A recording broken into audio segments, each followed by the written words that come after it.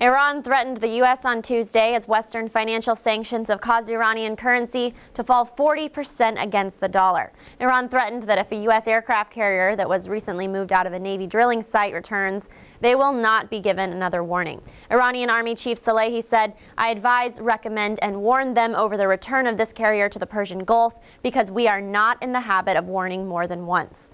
And today is Iowa's first in the nation precinct caucuses. According to public policy polling, Ron Paul, Mitt Romney, and Rick Santorum are all hovering around 20% of the Iowa vote. Meanwhile, Gingrich is floundering around 15%, while Bachmann and Perry struggle to break double digits.